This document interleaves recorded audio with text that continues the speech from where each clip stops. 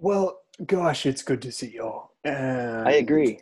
um, gosh, there's a lot to catch up on, and I have been quite a no particular agenda, but just to maybe go around and you know fill in the basic logistics in like a few sentences, like like over the last few years, are you still in the same physical place and big major movements?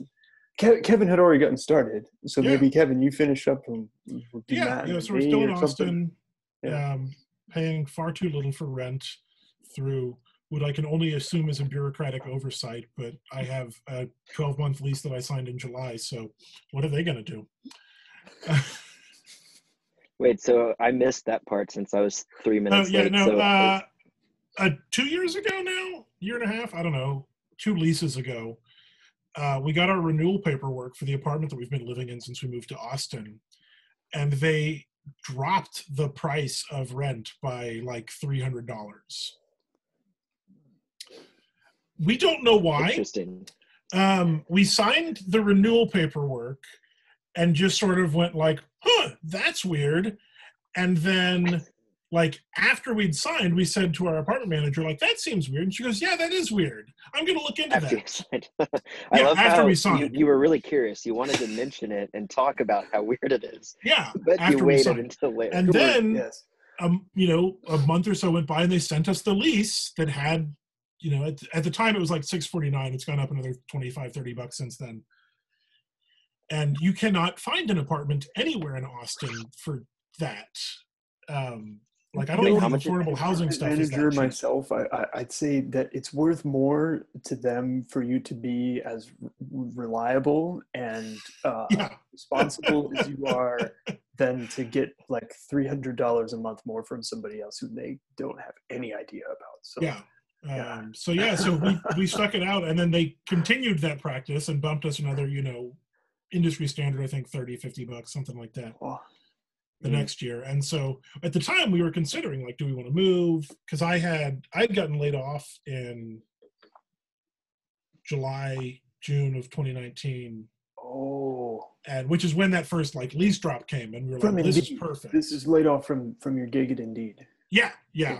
oh, Um, it, the department I was in and at Indeed, the entire three years I was there, it spent slowly collapsing. What department were you in? Uh, it was an organization called Indeed Prime, or at least Mhm. it was when I left. Uh, they renamed to Seen by Indeed, um, Mm. and then shut down because it was an idea that didn't Wait, work. so are you're saying a rebranding occurs right before the ominous decline? Yeah, that is yeah. usually the case yes My Although, to be boss announced a fair- rebranding today. yeah. The ominous decline is one of those things that is going to continue, or, or was was happening literally when I started. oh in my exit interview, I talked about how this department, this project, had been failing since I was hired. Like I got hired at its peak, oh so, Um, so i mean and it lasted about another year. but do you have do you, i hope you don't blame yourself i really No, okay no, I blame the terrible management. I blame the fact that the core idea was bad, um, and so that was that was very helpful. so you Um, got laid off june of last year you said yeah. and then what's spent about six months unemployed, um, applying for jobs on unemployment for a while, and then I'm now um, in the mortgage industry.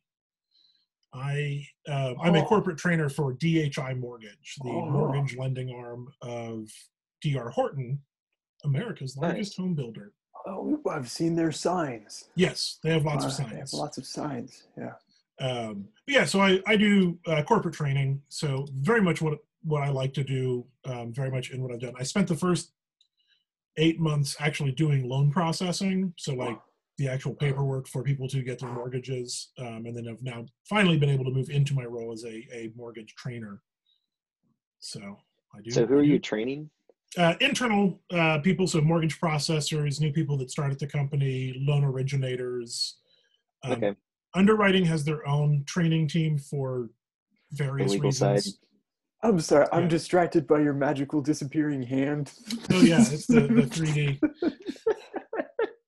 It's- Yeah, yeah. So I do I do that. Although um, on the creative side, I still focus a lot on writing. I have a weekly newsletter I put out every week for the past three or four years now. I think I started in October, so it might be four years now. I'd have to go check. Um, usually, you know, a thousand to two thousand words on various pop culture topics. Mm, mm, mm. Um, and I do, I say I do. I've made three uh, video essays on YouTube about various movies as Nice. a thing that I always wanted to do and now do. I love that you're doing that. Like you Yeah. are clearly still the Kevin that I knew back in college. I love it. yeah, I haven't changed that much. I'm still me. So uh, that feels good. Matt, do you want to go next? Sure. So, um, let's see. We, I didn't. Re- I guess I knew you were in Austin, Kevin, but I had kind of it was out of sight, out of mind. It's a So- big town. Yeah. Apologies that I have not reached out to you, but um, we uh, we technically lived live in Round Rock, so our house is up in Round Rock, and um, I've been to your actually house. made a cameo at our house. He did. he has not been into our house, but he's been to our house. Yep. Uh, so um, we bought the house there um, a couple years after moving back to Austin from Dallas. Um, so we moved to Austin when I got the job at Visa. We were Mhm. engaged at the time, and uh, we got married. Uh, lived in an apartment for a couple years. Paid way too much in rent. Yeah. and um, and by too much, I mean like interest aside, our mortgage principal payment is uh, less than our rent was for a two bedroom apartment. So, um, so definitely paid too much in rent. Um, the house was awesome. We were loving it. Um, I was commuting to work every day. Uh, the Visa office uh, was near Charles Schwab, if you know where that is, um, or Mhm. was on 183 in Oak Knoll. Yeah. Who's. Steven? Yeah. Oh, Steven's still He's there. he's I'm and so, um, monastery internet, man. It's gonna just, just roll with it. Yeah. it's gonna be what it is. Yeah. So then, uh, let's see. We, we, you know, we were enjoying life, having a great time. I was commuting every day, and then COVID hit, and so I worked. We did a business continuity test. It was either in, I think it was in the beginning of March, and then uh, at the end of the business continuity test, where they were having everybody work from home just to see what would happen, they were like, "Just kidding, no one's coming back," and so we uh, we've all been working from home since then. And so in May, Courtney and I looked at each other and we were like, well, we always try to get in at least one or two international trips a year. That was kind of our thing. We like to travel. Oh, And uh-huh. so we were like, we'd always been waiting to do domestic travel until we had kids because we were like, obviously that'll be a little cheaper. And so mm-hmm. we looked at each other and said, well, we're not traveling internationally. We still want to travel. We're just sitting at home staring at each other on our laptops all day. So let's buy an RV. So we went out and we bought a travel trailer, 32 feet long, hooked it up to the truck, and now we're traveling the country. You're in the trailer right now. that's yeah, I'm in I'm in a trailer right now. Holy shit. Holy shit. And where is the trailer? So the trailer is currently on a hill. So uh, we're in Eureka Springs, Arkansas, Okay. up, Wow. up in the Ozarks. So the Ozarks. Um, we just we just had some chili outside by the campfire, froze our butts off. The feels like temp this week was 21, so uh, it's been a little chilly. Um, and yeah, so we're just we're working here, um, traveling while we work, and it's it's been pretty awesome. Wow. Well, oh, that is that's cool. Um, to segue uh, in my uh, signature, like terrible segue style. Uh, speaking of, of cold weather and remote places, uh, I am in northern Vermont, uh, Okay. it- where it is actually, I think, warmer than than than Arkansas. Uh, we're like 41 right now or so, but there's snow on the ground, um, Oh, nice. and it's supposed to maybe keep. Well, no, it's supposed to warm up. Actually, we're gonna be hit a balmy uh, 46 degrees on Sunday, uh, possibly. but um, no, I'm in the. I guess it's called the Northeast Kingdom. Uh, I, I'm I'm literally within sight of Canada. Um, Mhm. Quebec. I can see from our we have this this front porch that we've affectionately dubbed the front porch at the end of the universe, where I can see like Canada. Uh, Yeah. in the distance. Wait, so is there a border there, or is it open? Like, what is what's happening Uh, there? I'm not. I haven't tried to cross the border yet. Uh, it hasn't gotten that bad. Um, but haven't uh, needed to haven't yet. You're just to in a position where, when the moment comes, You it's just it's walking sneeze distance. and end up on the wrong side. it's walking distance. I could just walk, uh, Yeah. but um, or ski. I guess they do. although it's, if it's Quebec, you got to practice your Quebecois Quebecois French. Oh boy, I know much of that other than uh, other than uh, uh, poutine. Mhm. Um, yeah, That'll get you a good ways. It will. Yeah. So um, this and this is a Matt. This is a different monastery, by the way, from the one that I was going to go to. when- Weren't you in Virginia or something before? Yeah. So I'll, I'll sketch the last few years, like y'all have done. Um, uh, basically, the the community house thing, Kevin, that I was in when when we were uh, last speaking. Um, Mhm. I basically destroyed that place. I just my shadow just absolutely wrecked that whole thing, um, and it ended up. Well, it, it ended up going uh, pretty well after I left. I, I think I left, like a few a few months after that, but the, oh, after like maybe six months, the Mhm. the whole original crew had turned over, and it was just like a place again. And um, so I lived uh, at Sebastian's place at the Jewel of the East, which I think you were at a couple of times. Uh, the Mhm. place on the east side. Um, for a time, we closed that down. We had a we had a uh, a giveaway party where we just opened our doors and said anybody like we put up signs on the, on the telephone post and said come in and just take anything uh, Oh that gosh. accumulated for 10 years. It was great. It was just the best uh, way better than trying to move all that shit somewhere. And then i just that was the last time that i really had a place i was paying rent at. Mhm. um, and i i after that began to monk and monk and monk more and more um, i spent a lot of time at the goenka vipassana centers in uh, california. Uh, i visited a monastery or two in california for brief times. Um, made a couple of trips out to canada um, and spent time with uh, the uh, the people that i met after the eco village travels. Mhm. and just there's lots of time on amtrak. Just so much Amtrak meditation. And uh, and basements of friends and houses and such for a while. But I, I I would be back in Austin for a good you know four or five months out of each year, and then traveling the rest of the time. And um, that was going okay, but but last year I just I was like I just need to find a community and just like Mhm.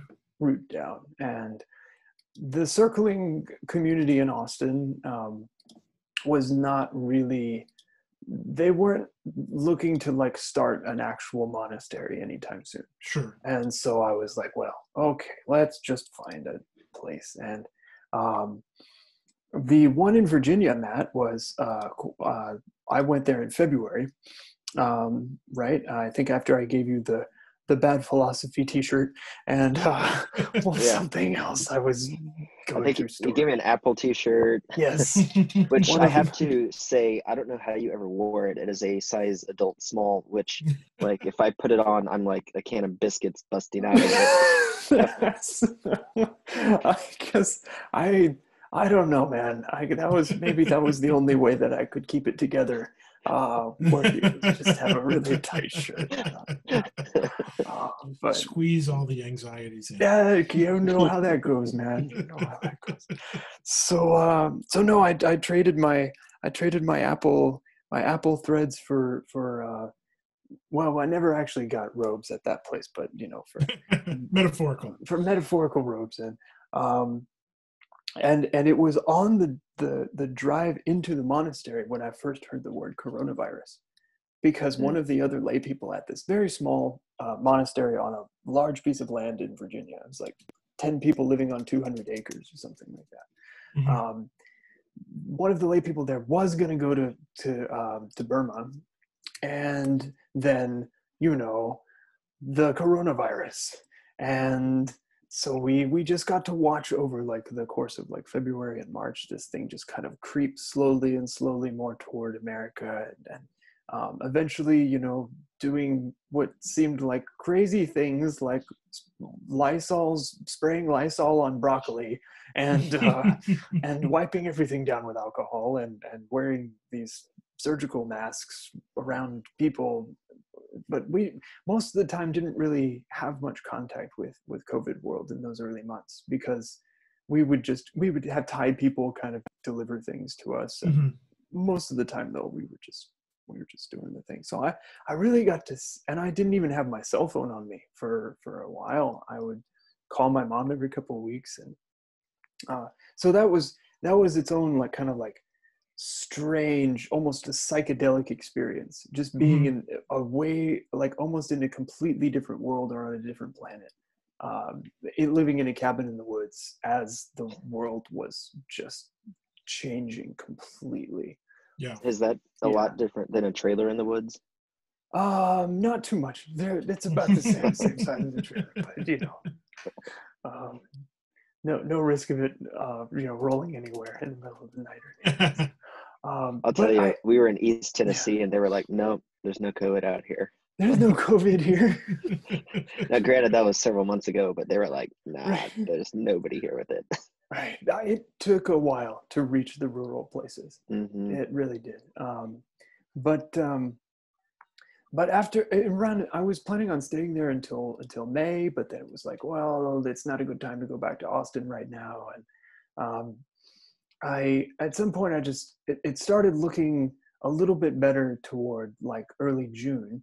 And and I had applied to actually uh, go to this this place where I'm now, um, the Monastic Academy for the Preservation of Life on Earth, uh, Maple, uh, which is in in Vermont, and is is more of this like hybrid monastery kind of a thing. It's a it's like we do a lot of circling and uh, like bioemotive trauma release, and also like a lot of seated meditation kind of Zen style. So it's it's more it's more in the world than than the place in Virginia for sure. But it's less of like you know the actual monks and robes with bowls and and the Mhm. rituals and everything. So um, I had applied to go there, but I actually I I wasn't able to start here until August. So I had two months back in Austin in the midst of like COVID world, uh, with living with Sebastian and his roommate in, in uh, around Circle C, um, and uh, that was just a trip, man, to go from the monastery into into that. Um, so I, I'm here now, and we we're about 20 people with guests coming and going, and and there's really no there's no COVID protocol. Vermont's like really doing really well, uh, and we we don't really have to quarantine anyone, but we might have to do that soon. I don't know. They just stopped having retreats, um, Mhm. and despite like a quarter of nonprofits failing this year, uh, we've had a few major donors just really step up and, and keep the place afloat. And so it's uh, uh, it's it's it's okay. We seem to be okay for, for the Who were- Who Um, are major donors to organizations like that? Like, are they from certain sectors of industries or like you know individuals? I, I don't know a lot of the history of the of the top ones. We have maybe 10 whales or whatever they're called you know that, that make up like 80 or 90 percent of our of Mhm. our funding. And um, they're just folks who i guess um, i think one he did like organizational consulting for a long time. And um, someone else is a hedge fund former hedge fund manager or something. And another she Rich people with too much rich money. people Yeah. in the northeast who like meditation you know like that kind Yeah. of thing Nice. um, and so i'm It's I'm, not a Kevin Rose or Tim Ferriss, is it? i don't i don't know but the actually um meng I, uh, I forget his name the guy, uh, search inside yourself uh, guy from google you know who started the whole like meditation program at google Hmm. um, he's he's like on our board of advisors and uh, but um all that to say i just recently got like a, invited to stay as a resident so i'm i'm kind of their equivalent of a monk uh, like an Mhm. or novice or something and uh, i was put in charge of the buildings and grounds here so i'm like in charge of the apprentices who have they're like two month cohorts rotating i was just an apprentice and that's like the you know bathroom cleaning, snow shoveling, Mhm. cooking meals, all that. Yeah, so sure. I'm now like managing that like team of five or six people, uh, and and I'm kind of like the Geordi La Forge on the starship. Now, why they put a Texan in charge of, of a of a mountain monastery in Vermont going into the winter, I have no idea. But uh, it's it's actually been really fun so far, and I, I really like my team and uh, and the, the place here. So so that's my story. A lot of That's cool. monkey. So you, if they if you have any problems, just make sure you tell them. Well, just wrap it in barbed wire and cover it in whiskey. It'll be fine. Oh dear. there are moose here, and I've seen bears. There's like Nice. actual like megafauna. That's Yeah. pretty cool. So, um, that's that's pretty crazy. Yeah, moose are bigger than you ever think they are. yeah, they're massive creatures. They're just huge. Like you expect bears to be big, but you see a moose and you just you don't expect it to be that big. And But I don't expect it you to eat me. Like, Yeah. Doesn't have to eat you, it'll just trample you. oh yeah, they'll knock down trees. You know, they just don't care. They just barrel. So, thankfully, I haven't I haven't had to had to run from or or uh, uh, avoid a moose yet. So, um, Glad to hear it. but we got our first snowfall today. It's it's actually there's snow on the ground. No, I it's, said it's a light dusting. You know, it's like an inch or two. Yeah. It's like it's okay. El Paso got snow last week, so oh my. So I, I would love to, to to open it up. Like you know, Matt, y'all went y'all's COVID experiences. You just you like went on the road. Uh, Kevin, uh, I, Amy, I assume y'all haven't like uh, done any trips, or have y'all gotten out, or is it we mostly have been- we have locked down basically. Um, Yeah. yeah, it was. I mean, I can say it was March fifteenth. Um, when The Ides of March. Yeah. I so it that the fifteenth was a Monday, and the Sunday before, I had a D and D game. We get together every week, and we play on Sunday nights. And I had emailed everyone and was like, "Look, I'm not comfortable right now. Like, there's just so much stuff out there. We don't know what to do. So many places are locking down. So I'm just going to skip this week." Um, and like an hour later, my manager called me and is like, "Hey, we're doing a survey of people." to talk to see who should be staying at home, um, if anyone. And you know, it's sort of preliminary. We're not sure what we're going to do. Um, I had taken my laptop home with me because I kind of expected this. Um, and they were like, "Okay, uh, are you immunocompromised? No. Do you live with anybody who's immunocompromised? Yes." And some of the other questions were like, "Do you have kids who are going to be out of school?" Um, and so immediately, I was the first in line of like, "Cool, you get to stay home and work from home." And it was less than a week later that everybody else was sent home. Like it was just um, we work from home now. Um, there was a lot of upheaval in the mortgage industry because there's a lot of in-person stuff that has to be done. Um, and so a lot of figuring out like, okay, what do we have to do in person? How do we do that safely? And what is everything else that we can do? But yeah, I haven't been back to the office. I went once to go pick up a couple monitors so I have an actual workspace. Mhm, mhm. Um, but other than that, and and my team specifically, like the whole company is still working remote except for those who can't. Um, but my team specifically was basically told, yeah, y'all are so effective, you're basically going to work remote forever now, Yep. uh, which I was fine with. Um, so yeah, so we've been locked down. We we haven't gone anywhere. Um, we do curbside pickup for groceries. Uh, we go out every weekend as our exciting adventures. We go to uh, you know a local restaurant to do curbside pickup of a takeout meal. that's that's that's our exciting moments. Um, yeah, the the current mind game we're playing is we're pretending we're on a long haul spaceship with uh, Oh. limited access to the outside world and anything Yes. else. that's great. So that's the sort of mind game that we're in. Uh, is yeah, I we're just, it- we're just in this it- little pod floating through space. And I, I bet Matt, it, it feels like like almost, almost literally like that for y'all. Yeah, yeah. Well, the- I was laughing hearing that because it's rained for the past four and a half days. Like, and I'm not talking about Austin rain where it rains mm-hmm. for 15 minutes and it's done. It's just just rained 24 hours a day for four and a half days. And so we were sitting in the trailer on day three going, "Oh, we're glad we got the bigger one." Yeah. 'Cause, yeah, yeah, you can't get out. Um, yeah, it's Upgrade. it is um, it's real good that Amy and I like each other a lot. We've Yeah, talked about that. yeah. Having seen other people whose relationships have been struggling because this is an unprecedented time and we are Yes. all under Yes. unbelievable pressure. Record numbers of depression and, and Yeah. uh, child abuse and Um, divorces, all- all, kinds of things. Yeah. Totally understandable because we as a planet are suffering through a catastrophe right now. Yes. And and Mhm. the US is at the top of the list of people suffering. Yes. and so that that has been really helpful to have her as a support system um That's good.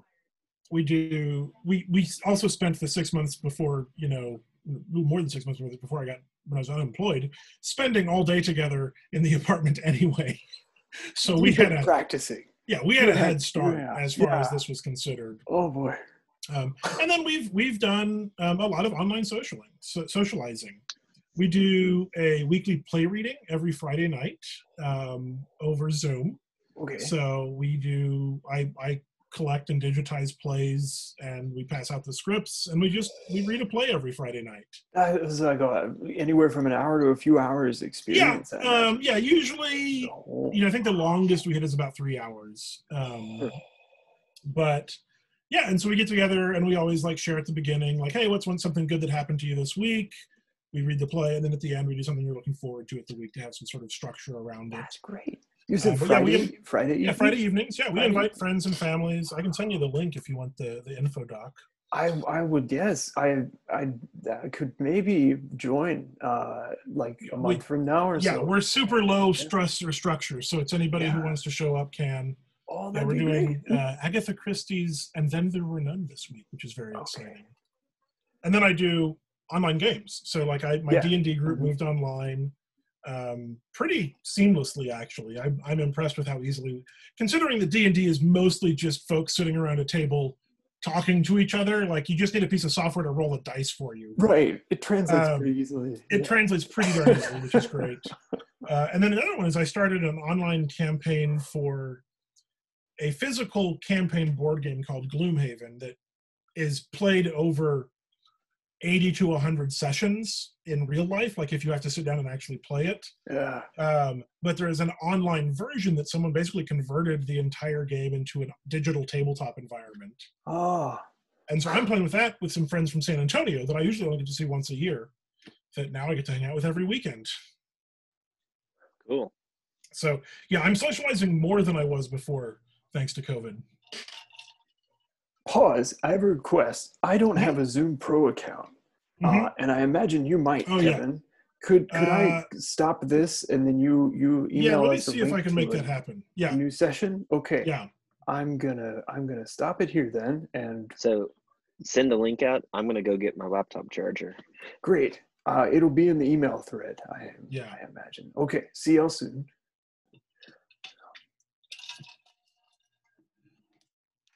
S- Start, gentlemen. Start your video. Uh, okay. That is one of the hardest things to get people to do when you're doing virtual trainings is getting Oh my people goodness. to turn on their videos. Oh, Zoom literacy is now just, it's like amazing. It's like this thing that everybody kind of needs now or something. Yeah. Well, and it's less the, the knowledge of how to do it because they're all relatively smart people. They just don't want to do it Yeah, because they want to do their jobs and pretend they're in the training. Right, right. Um, I Or- literally had one this morning or this afternoon that started in the morning. Um, we got done about two o'clock, myself and the other trainer. We always stay on in case there's extra questions as everybody else is sort of logging off. uh, There was definitely somebody who at the end had their mic and video off and was just sitting there like, and we realized that it was probably the entire training. They had logged in at the beginning at like 10 a.m. and just turned off their mic and video and then didn't realize the training was over. Oh So we had to, we had to, to yeah. We we gave them ample opportunity. We're like, hey, if you're on, if you're listening, this is your chance to acknowledge us before we have to rat you out for not participating. Yeah. Oh my and goodness. nothing. Welcome to 2020. Yeah. Yeah. I found that the people on my team just don't want to turn their cameras on ever. Oh, Um, like we'll do a team meeting and Um, my boss and I turn on our cameras, and then there's 18 people with no hmm. no cameras on. We, we don't give our team a choice. We're like, no, you're turning on your camera. It's like, You have to. Well, so we we, we give them a want to be. choice. We just say, hey, like we're gonna do a team meeting. We only do these once a month, like without the entire team. it's and we're not like, too hey, every- much to ask. And my, my Yeah. boss, he doesn't want to force anyone to do it, but he's like, No. hey, like you know, take a shower, do your hair. Like he jokes about it. He's like, turn on your cameras, let's have fun. And then no one does. And Yeah, we don't care if you me. shower or do your hair. There's a pandemic. Just turn on your camera. Pandemic, just We're, please. we're not we're not holding you to a high standard. I'm in a freaking trailer over here. There's no standard. I do say that we had to institute a rule um, because of a thing that happened that you can't have naked people walking around behind you. Rules are always because of things. That that would yeah. That's oh, that was one of those that someone's spouse just hopped out of the shower and was walking around looking for something Oh, and it was like that like panic i wasn't in that training but i i heard about it afterwards and it was just like ah ah it's- Hey, at oh, least he let them know and made a rule instead of just you Yeah. know not saying anything about it. oh, that's that's why virtual backgrounds are great is because they save Yeah. you from this problem so like this is this sucks, doesn't it? I mean, it just yeah oh absolutely It's just terrible. It's just like I don't know how I feel about it because on on one hand, I feel like there's a lot of things in the world that have needed to change for a long time, and this is the catalyst that causes that change mm, because no one was willing to be a pioneer in that space that needed change in a lot of industries, and so I think there's a lot of good that evolves out of it. mm, Obviously, like people dying from a pandemic is a terrible thing, and I've got a friend at home right now who's sick, and his wife is taking care of the baby by herself, and oh, so I mean, whether even if you're not dying, like it's just d- it disrupts and is so hard on people's lives. Mhm. huge, huge, yeah. Um, but you know, on the flip side, like we're able to do stuff that we never dreamed of doing until we were retired, and a, a lot of people I know are enjoying the same freedoms where it's like the the, world's just a completely different place than it used to be, and Yeah. um, you know, Visa was talking about our two to six year transition plan because they said 95% of our workforce is working from home today globally. Mhm. And our numbers are better in a lot of cases than what we had planned. yeah And the, the, in reality, the only cases where our numbers are down are related to international cross border spend, which obviously that's down. Right, of course. You, can, yeah. you can't, yeah, that's nobody's fault. There, nobody's Every- traveling, so yeah, anything that's, not a gonna- project based number is up and so they're going like Oh. we're really not in a hurry to bring people back to the office and Oh, if you think about it like people are were tired of commuting they didn't work hard when they got to the office they wanted to go Right. take breaks and drink coffee Yeah. whereas at home like someone can wake up start work whenever they want heck if they work six hours they're getting more work done at home during that six hours than mm-hmm. they ever would have gotten done at the office Yep. yeah so well it's a it's a huge accessibility boom. You know there's so many people who for whom getting to an office is a difficult thing and Yep. yeah. is a lot of times like an excluding factor for whether or not they get hired who true. Yeah. we've now proven yeah no they can definitely work from home because Mhm. anybody can. My fear is that not enough companies are going to look at what like visa's doing and say oh we can do this anyway forever.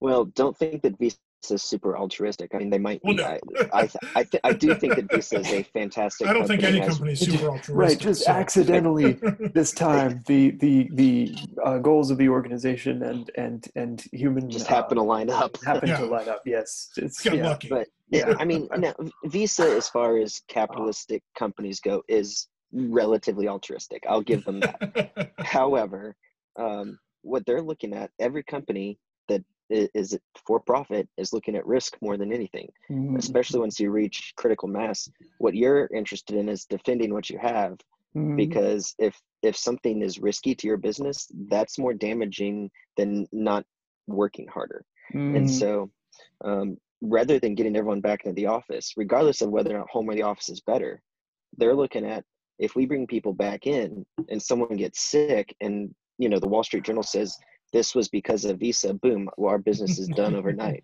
so i mean that's why i say that's it's not it's it's self-preservation too So, so Yeah. uh, on on the the uh, subject of self preservation, I'm gonna pull another terrible segue. it's just just telegraphing it. Like Kevin, you you spoke to how you and Amy have have uh, have gotten through the thing, and and you know uh, it's sounds as if it's it's been a, a, a growthful challenge that's enhanced your relationship in a lot of ways too. It sounds sounds like. Um, no, I would say that'd be fair. our relationship was really good, and that has Already. allowed us to succeed in the pandemic. Even, um, is is one really where I look at it. Um, okay.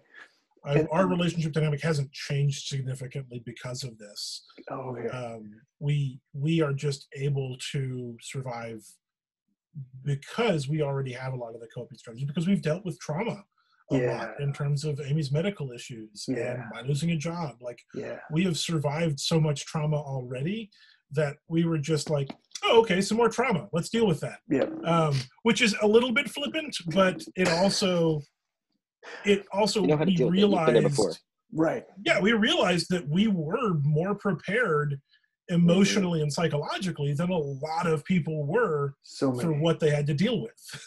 people just went crazy. Just yeah. so many people just lost it. yeah. Especially understandably. Yeah. Yeah, understandably. Just it was really it was tough. terrifying. Yeah. Well, it's still okay, kind of terrifying. That's really weird to me because uh, you know, as I was talking to people on my team, I'm like, hey, how are you doing? Let's check in. Like, you know, do you have everything you need? How are you, like, how are you, mm-hmm. you know, like mentally, you know, do you feel okay? Mm-hmm. And I was finding out that, um, like one guy on my team, he was like, well, my wife and I rearrange the furniture in our in our living room every Saturday just so we have something to do. And he was like, we're repeating ourselves at this point, but it's just mm-hmm. change. And I mm-hmm. was like, and I talked to another guy and I was like, well, why aren't you, why are you not getting out and doing anything? And he was like, no, we're, we're locked down. And I'm like, bro, lockdown doesn't mean you have to be inside the four walls of right. your house. and I think a lot of people, yes. I think high level people, high functioning, highly intelligent people are missing that concept yeah. that lockdown doesn't mean you have to stay inside. Yeah. And, and I think that is very damaging to people's minds. Yeah.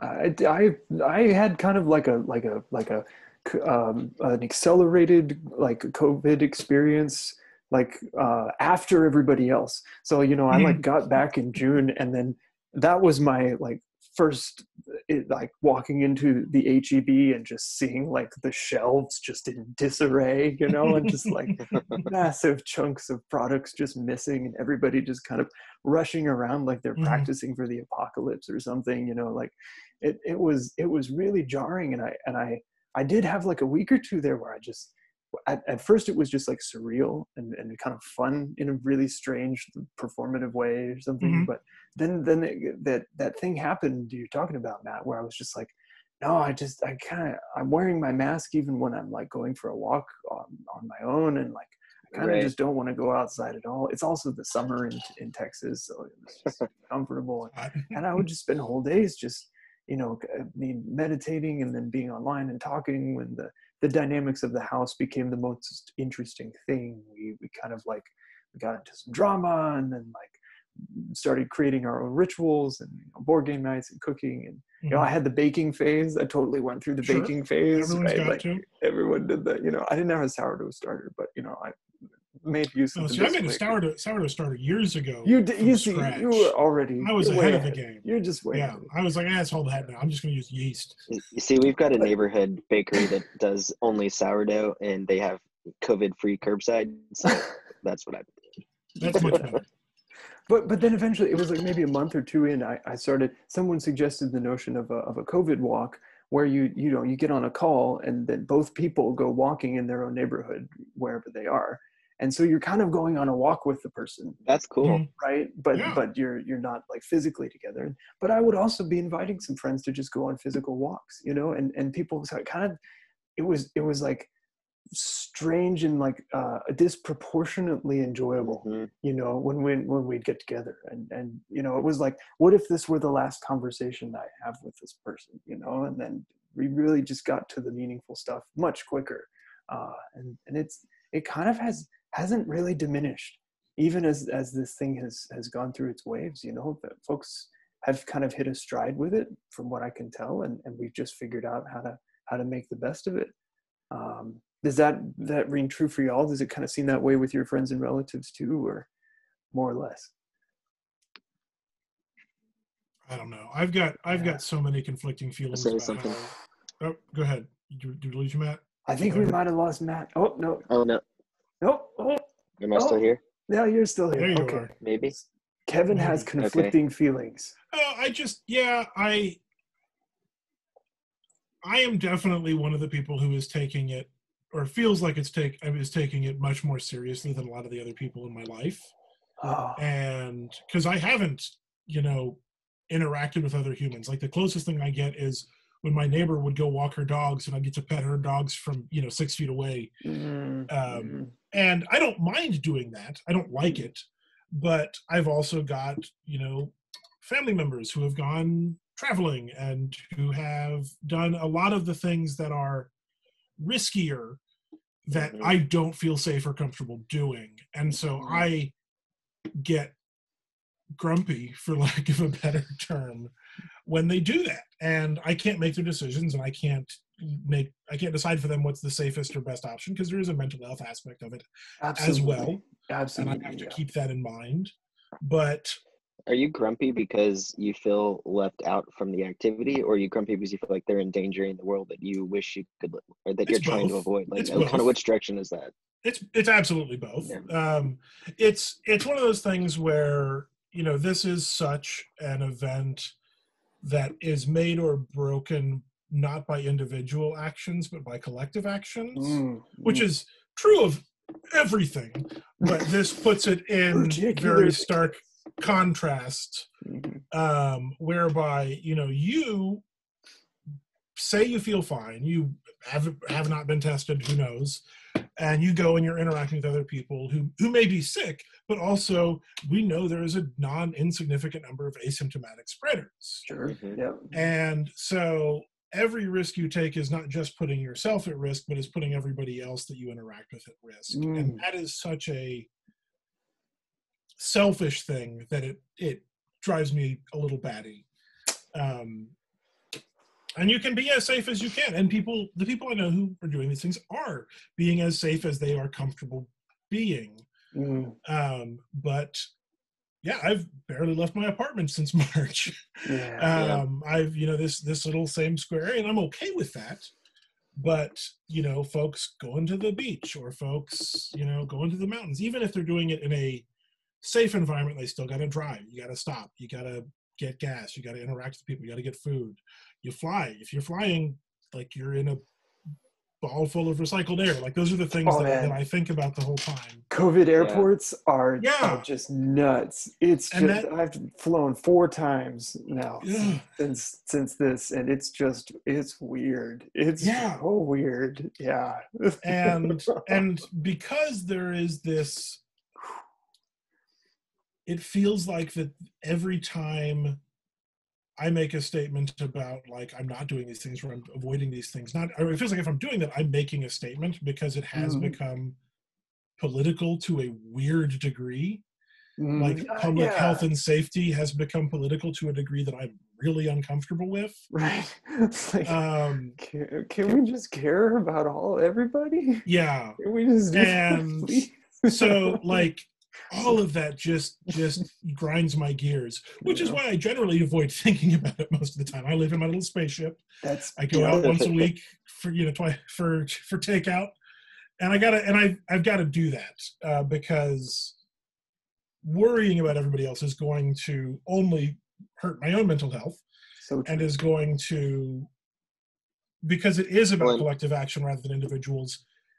I like getting mad at my folks for flying to North Carolina. They didn't fly to North Carolina. Driving to North Carolina, like, doesn't change their behavior and doesn't institute any sort of systemic change. yeah. So, I'm I'm kind of stuck in both. So, it's one of those. See, that, I, yeah. I think I, I feel, I understand what you're saying because uh, towards the beginning of COVID, um, right after it had kind of become a thing, my Mhm. dad um, was scheduled to have his prostate removed because he had been diagnosed with cancer.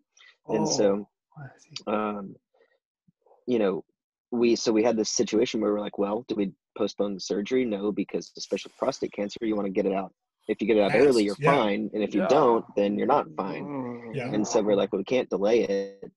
So, you know, I ended up in the midst of all this. Um, my dad moved in with um, with me and my wife Mhm. and and lived with us for like a month before the surgery because he didn't want to be exposed to anything and Sure. we were isolating more at that point than his wife and you know and uh, at the time my sister was living with them and so um, he came to just kind of isolate with us and then um, going to the hospital was weird checking into the hospital was weird because i mean it was like you get there there's security there's police out- standing outside the hospital there's the the, the temperature checks and i'm you know- was that weird for you on the first time? Where it was it was basically like someone points a puts a gun to your forehead.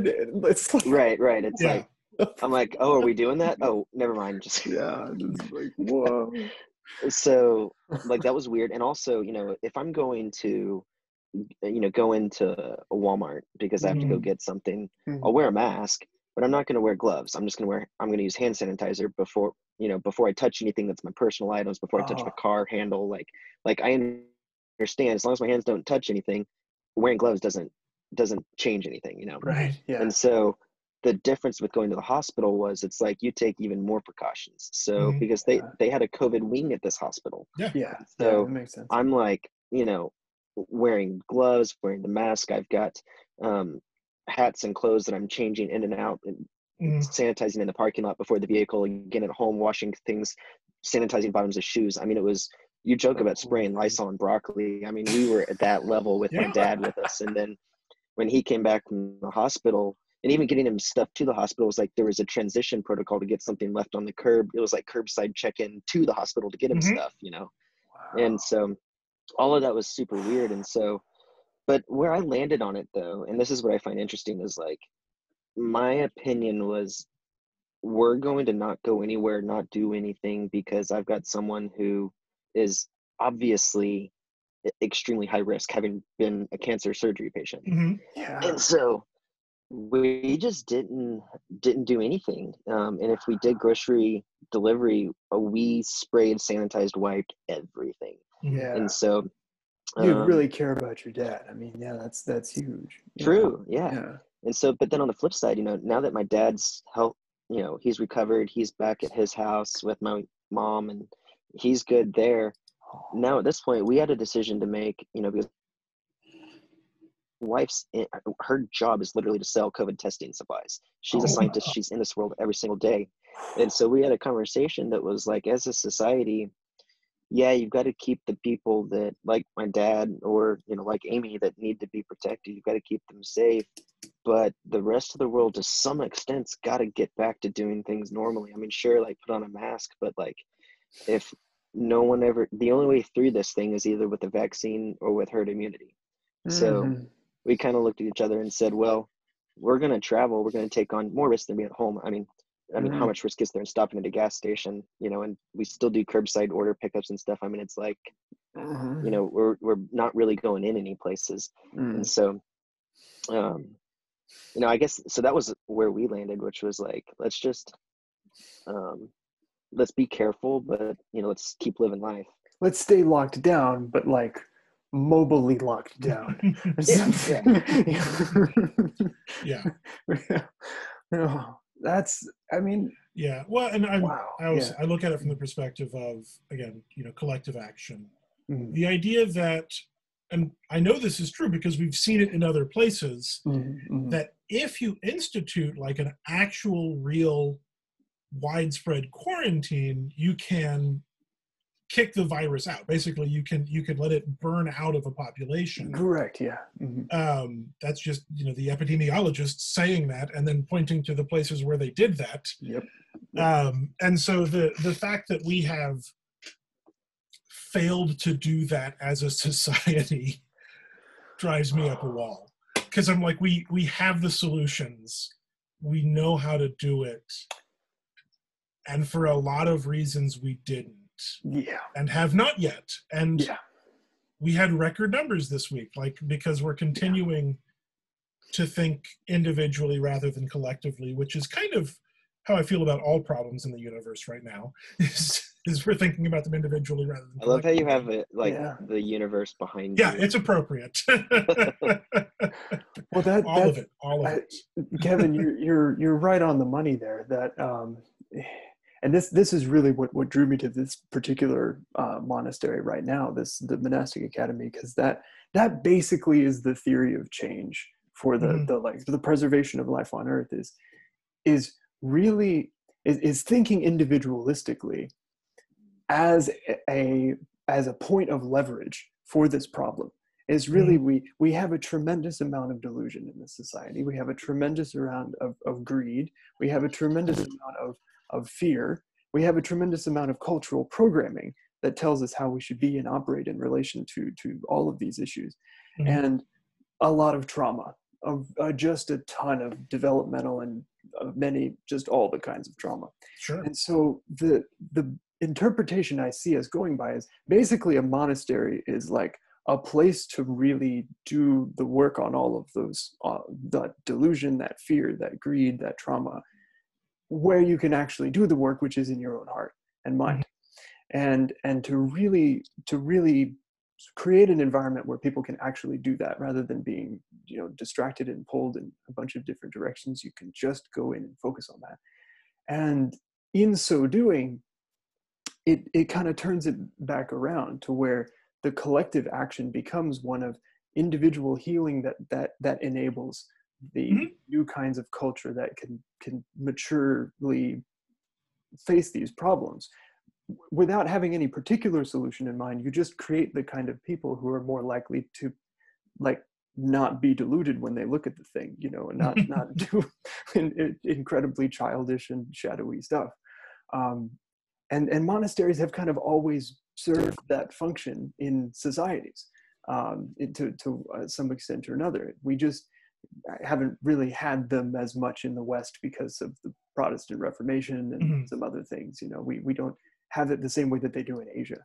So the the idea here is just we're just trying to do the thing that works, um, and it, mostly it, it seems to be going all right here. Uh, we certainly have our, our fair share of messiness. Uh, but there's um, there's less of a sense in this one as the the previous one I was at of just like we're we're just kind of checking out from the Mhm. whole thing. You know, we're we're just like living off in the mountains and pretending that it's all going to go away. It's like no, Certainly get the desire to go check out and live away. sure. and I mean, to be fair, we are like up on a mountain pretty far from like we're maybe half an hour from the first major town, but Vermont's a pretty distributed like Mhm. state anyways. But like we go into into Burlington every Sunday. And I'm actually giving the talk in town this Sunday. We you know drive an hour and a half in there. And we- we're actually like we we have like guests come here. We're still having retreats. Like there's going to be a circling retreat here, and people are flying in, and we're going to have some kind of a COVID protocol around that. We're not sure yet, but like we're we're trying to kind of model that like the the virus is not the thing to be afraid of, right? The pandemic really is is is and our response to it is is actually like much more of a symptom than than a cause. And that really like the the root cause of of a lot of this is is the greed and delusion and fear that we have in our own hearts. And so uh that's that really gets gets me going. I, I mean i still think we have a pretty slim chance of of of like avoiding extinction. Like i'm not i'm not you know like I, I mean, I don't know. I think there's I mean- there was a uh, uh, a great book I didn't actually read. Uh, Yeah. I've had on my stack for a long time called Scatter, Adapt, and Remember. oh Um, those sounds like agreeable strategies Well, that's that. It's it's literally like what. How will humanity survive all Oh, of that's the not what I thought it was. I, I thought it was what we did at Black Friday a few years ago when the, they told mean, us we were in a residential area. oh So the, But the the- police were like, "You can't stay here." So we scattered, adapted it, and then we remembered where we were in line. but yeah, but that's and and it's it's a surprisingly hopeful book about um, the fact that we can technically we probably can survive just about anything that gets thrown at us. It's not hopeful in that like it's going to help us avoid any of those things. We have to do that ourselves. yes But um, it's it's an interesting scientific look at like how mass extinction events work and how Mm. other species have survived them and what does that involve. Mhm. Um, I would like to avoid a mass extinction though. Like if we can do that, let's start there. Yeah. Let's start with that and Low bar. then just have a backup plan or in case So we screw it up. kind of just a a funny anecdote about you know, funny things happen during COVID, right? Please, So- yes. You know, I have the inevitable long-term baby face, and so ordering a beer somewhere is always a problem.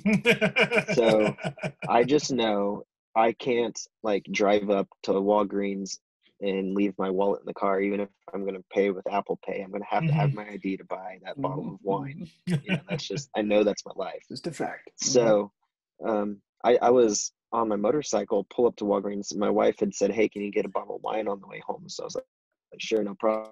I'll throw it in the backpack and I'll be home." Yes. So I pull into Walgreens and I get off the bike and I'm about to take my helmet off and put my mask on, and I was like, "I'm just gonna leave the helmet on." Right. So I left the helmet on, Yes. visor like tinted visor. You can't see through it at all. Leave it down. I walk into Walgreens. People are looking at me kind of weird, but then like you can tell people register like That's He's kinda wearing a mask. Sure, he's got a, he's got So- shield on. okay. Just really- so I I walk back, grab two bottles of wine, set them down on the counter. The guy looks at me and says, "Can I see your ID?" so I hand it to him, and he looks at me, looks at the ID, and he goes, "Cool." I'm like, "You literally can't see anything through this helmet." Yeah, but you have an ID, so it's probably somebody did, can yeah. buy this beer or this wine. And then and then I proceeded to turn around and trip over a little kid I couldn't see. So goes both ways. Oh, yeah. There's there's so oh there's. It's just a weird time, y'all. I Yeah. I mean, could, could y'all have imagined ten years ago? You know, Texas Tech was you know somewhere in the sub setting up a camera, just shooting the shit, but like. 10 years later, we'd be facing a global pandemic. Can I- well, so I- that's so it's, it was 12 years ago, Stephen. 12, sorry. It's time. time, man. Time's fucking Yeah, you know, That's so the it's problem super with time. Yeah. it's interesting that you mentioned tech because um, I'm still on the computer science board, and um, Oh,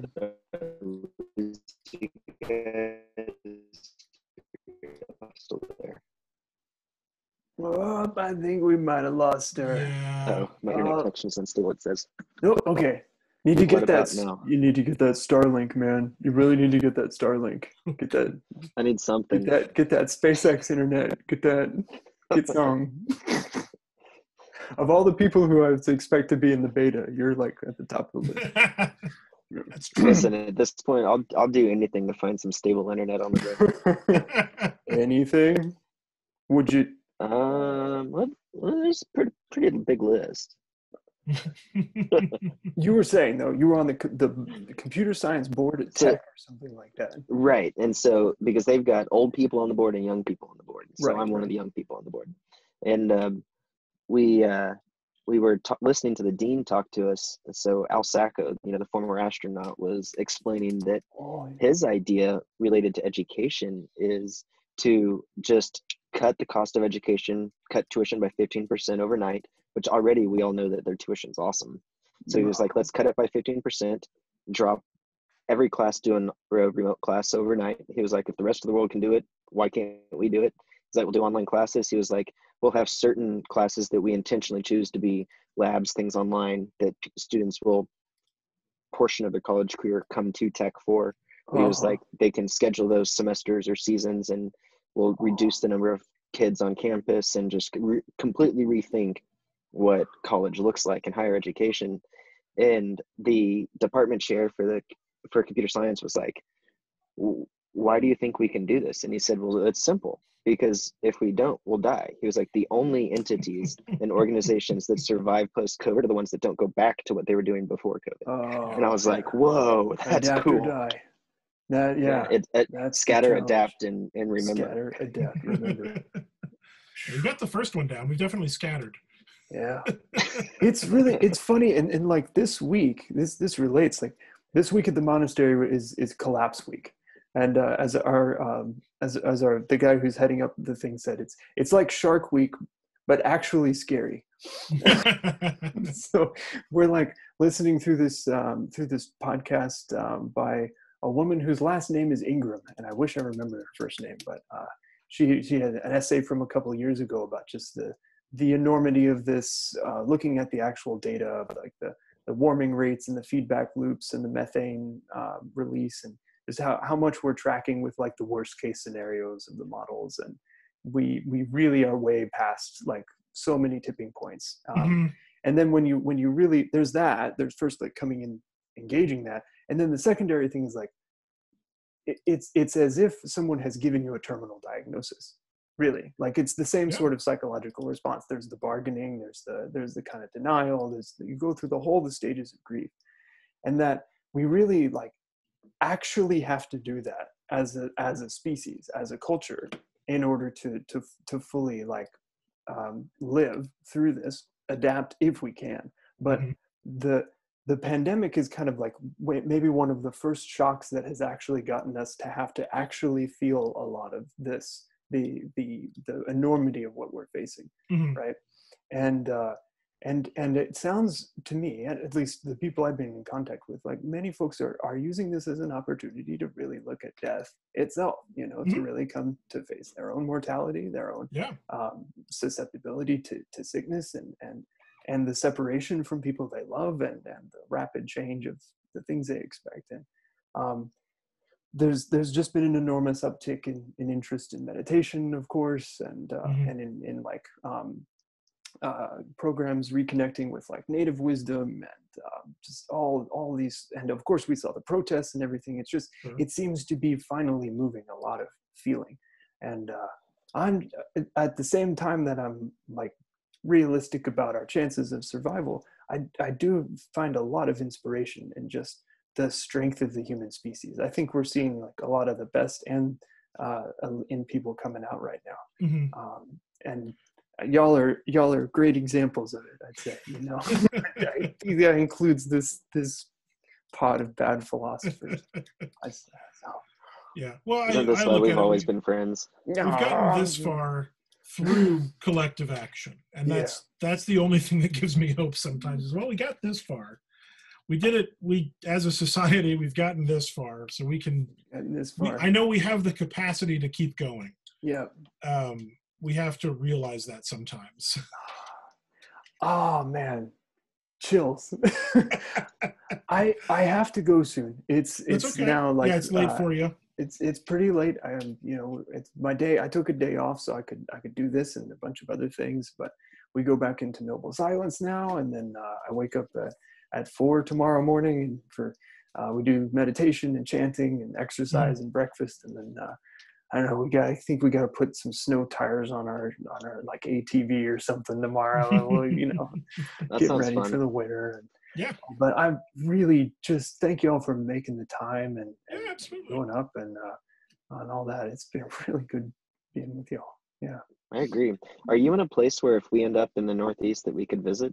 absolutely. Yes. Um, I, I, I don't know what our COVID policy will be, but we just had. Um, I, do either of y'all know Jordan Hall? Is he from, on your radars? He's one of these like Can't sense makers on YouTube Yeah. or whatever. He drove his RV up here uh, with his family and, and stayed for a few days. And yeah, we have we have day guests come, and you know, like if you want to see the place, Matt, you just let me know.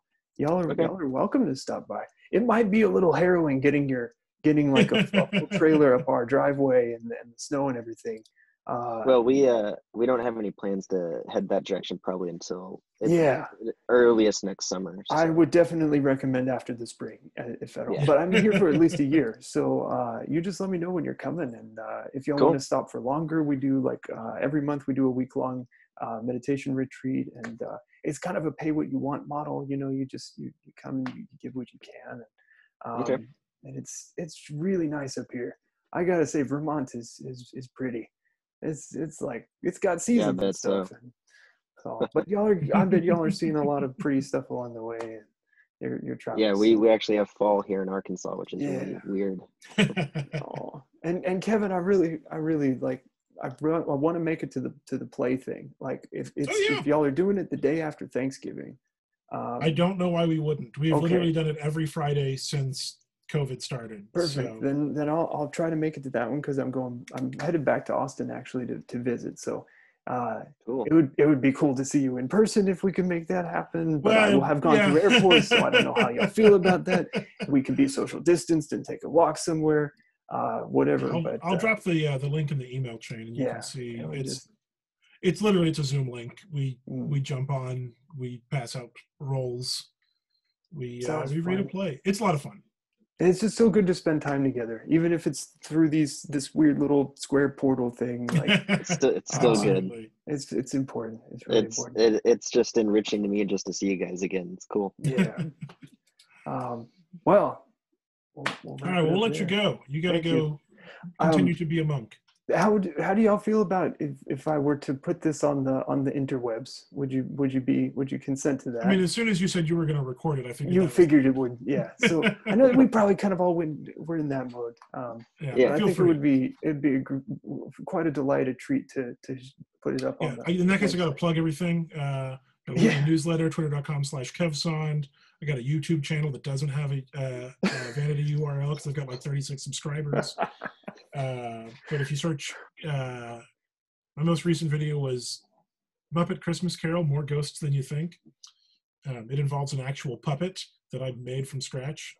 Here, actually, yeah, it's so He's he got just it. stuck his head inside the earth to get the puppet. Whoa! Pull yeah, it here out is of the core the, the uh, earth. The puppet I made out of literal, literal garbage. I thought it was gonna be a diamond Pointed coming from that deep. Yeah. Oh, it's so good. Oh, it's like. Ah. I, I don't have the mouth set up correctly, so I can't make him talk right now. But oh, that's Right. oh, that is that is a just terrifyingly adorable. Oh my, or adorably we're gonna terrifying. make a one of the puppet two. so I can make an argument with myself on the internet, which I don't know. That says a lot about me, probably. It sure does. So you. oh my. Oh, lots of love, friends. Yeah. Um, safe There, travels. I've got all my plugs out, so now anyone who watches this can. Um, uh, um, monasticacademy.org if anyone's Yeah. curious about this thing if, if you want to visit the in- the uh, apprenticeship is free and we can all always use people here to shovel snow and cook meals and meditate a lot uh yeah come have come have fun in a monastery it's it's uh it's it's a blast um matt do you have anything you want to plug You know, I I don't really have anything pluggable these days. I mean, Aw. as always, like Legmar, uh, L E L E G M A R is still is still findable. Like, so if you although want to see don't pictures go of to uh, Matt's Facebook. matt's facebook.com don't no, do that that, that's that's gonna anywhere. get you to some landing page. But if you want to see some pictures of the camper, you can check out Legmar anywhere online and, and see what's going on there. I will definitely let's let's do that. I'm, I'm gonna put some photos in our email thread and uh, and you know just throw in Yeah. whatever you got, y'all, from from recent times. Um, may Yeah. you continue to, to to weather the the collapse well, and uh, you know we'll see y'all when I see y'all. See you around. See you guys, hey, let me know when you're back in town. I y'all. will. Yeah, y'all. Bye.